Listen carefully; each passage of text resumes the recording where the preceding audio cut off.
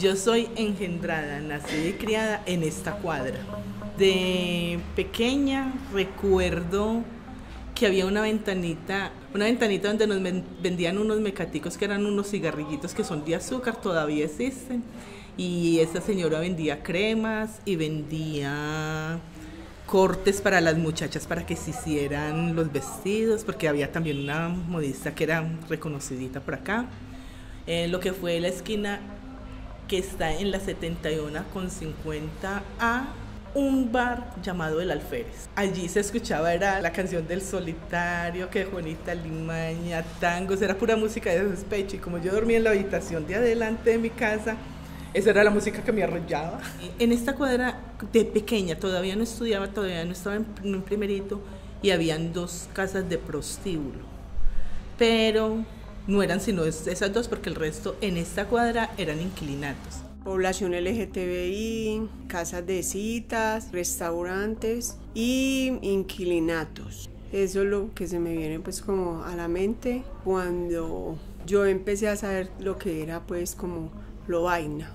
Fue bastante difícil crecer en una cuadra, en un barrio que se había creado para la prostitución y que todavía seguía siendo de prostitución. Porque de niñas uno no podía salir a jugar a la calle como lo podía hacer en otros barrios.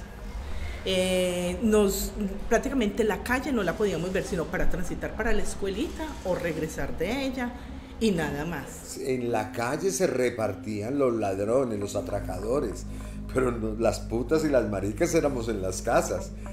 En las casas encerradas, la puerta abierta, pero entraba el cliente a donde le quería entrar o a donde el cliente diría, aquí está fulanita de tal que me guste, ahí iba y porque se hacía uno con clientes de cada ocho días. La experiencia de ser homosexual, tras de la calle, eso para mí fue como, como cuando yo soy un niño por aquí a un hijo a comer dulces. Queda impactado, admirado, quiere estar allí. Y cuando ya eh, me lancé a la prostitución como trans, ya una época de mi vida la vivía ya, cuando eran prostíbulos, lujuria, noches de, placer, de derroche. Dormía uno todo el día y por las noches nos levantábamos a, a trabajar, bañarnos, organizarnos, a comer o los sábados íbamos al salón de belleza, teníamos que estar muy bien presentadas. Me fui quedando, entré a prostíbulos, ya aprendí la vida de, de prostíbulos, ya vi que explotaban mucho a las personas, ya vi que querían encasillarme en algo que no me gustaba. Pero luego estuve por ahí dos, tres años y mucho por la cuestión de la explotación, entonces tuve que desarrollar ese lugar. Nos decían, ay, ustedes que viven en Lovaina, ay, que ustedes esto, o sea, por el hecho de vivir en Lovaina teníamos que ser o prostitutas, homosexuales, o jíbaros, o mala gente. Y al tener mis hijos no quería que vivieran eso. Entonces salí de este barrio. Y cuando yo salí lo dejé, sí, con sus casas, y al regresar lo encontré lleno de talleres, lleno de comercio. Y en este momento es difícil. Se fue acabando, se fue acabando, se fue acabando para la C y lo vaina. Fueron desocupando, empezaron a meter talleres, negocio aquí, negocio allá. Y que lastimosamente no hay una, no, no se ve un apersonamiento por parte de quienes lo habitaron y lo habitan, porque los que habitaron simplemente, pues, como te digo, se fueron del barrio o han muerto y sus familiares, pues lo que han hecho es, es vender las casas o convertirlas en, en negocios.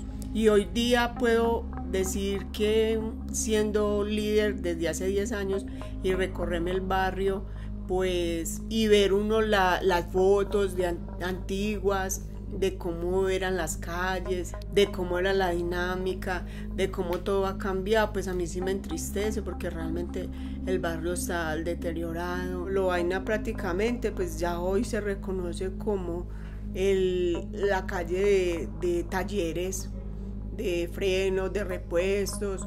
Siempre nos ha tocado como pagar un precio por vivir en este espacio, de una u otra manera.